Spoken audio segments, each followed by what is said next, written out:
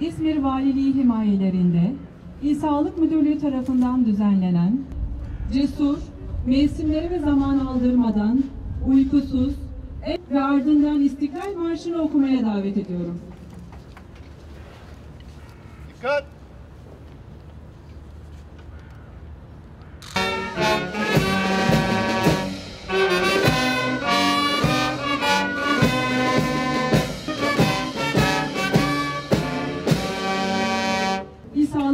Sağlık Müdür Vekilimiz Sayın Uzman Doktor Hüseyin Bozdemir'i kürsüye davet ediyorum.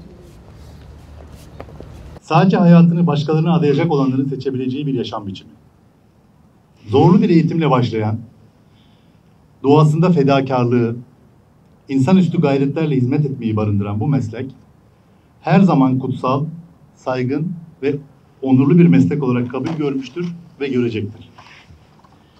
Yaklaşık iki buçuk yıl tüm dünyayı etkisine alan, etkisi altına alan salgın, sağlık çalışanlarının olağan koşulların yanında savaş, afet, salgın gibi her türlü olağanüstü durumda da insanımızın imdadına en önde koştuğunu göstermiştir.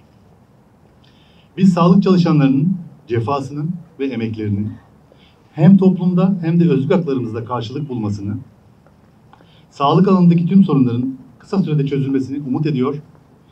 Başta hekimlerimiz olmak üzere tüm sağlık çalışanlarımızın 14 Mart Tıp Bayramı'nı kutluyorum. Evet, e,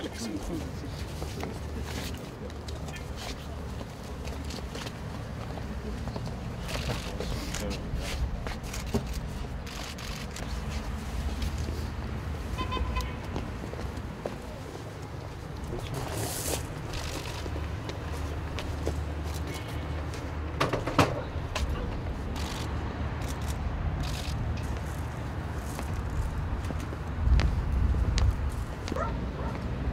Huh? Huh?